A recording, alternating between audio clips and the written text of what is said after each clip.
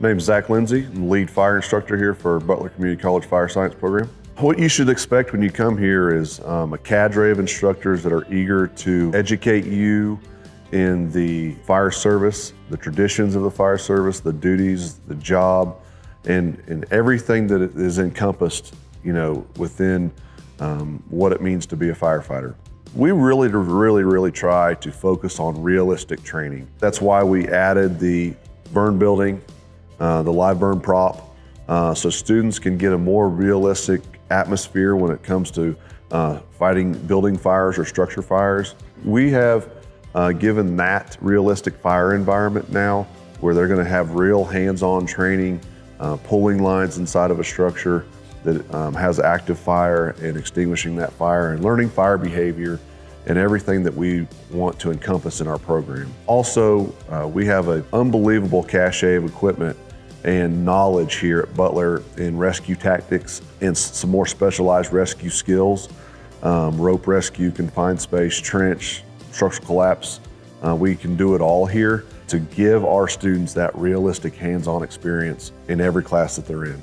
As far as the two-year degree program, you know, that's our traditional pathway. You're going to get your certifications. You're going to get everything you expected as far as training goes. You're going to see fire. You're going to do rescue classes. You're going to cut cars. You know, you're going to rappel off the side of the building. You're going to do all those things here in our program.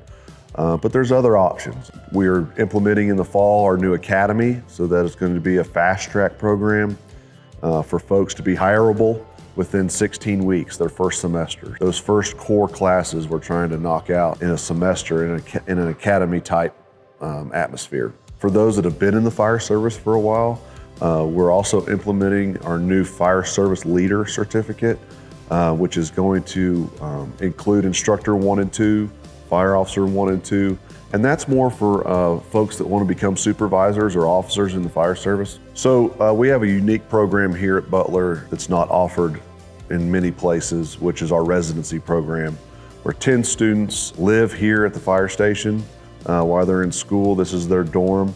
And in turn, they work five shifts a month with El Dorado Fire Department and so they're gaining some real world experience while doing that. Uh, a lot of our other students um, gain their experience by volunteering for their local fire departments here in the area. They begin to, their career there and start gaining, you know, real life experiences there. So we try to facilitate that as much as possible. I think it's important uh, for our students to get out there and, and get on the truck and really dive into this career and make sure it is for them. We're all about internships, we're all about serving the area. It's an ever changing environment that we work in.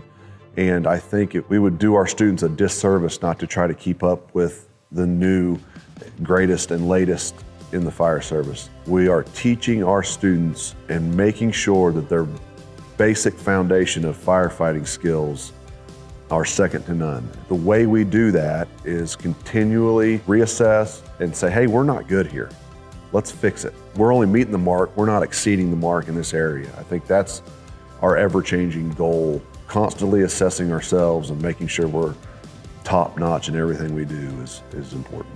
If you're gonna choose this career, you know, come talk to us, you know, and, and let's, let's drill down if this is right for you before you ever step through the door. Because when you step in through the door, you know, we're hitting the ground running. So you, you need to be prepared for that. It's not an easy decision to say, hey, I want to be a firefighter. Um, you can say it all you want, but doing it's different, right? So I would always suggest, you know, visiting, uh, seeing our facility, meeting our folks, meeting our instructors, meeting other students, at picking their brain, and you know, see what they think about the program. How much, as a college, we care about our students and want to take care of our students and, and facilitate their education and their learning every day. I think that's our difference.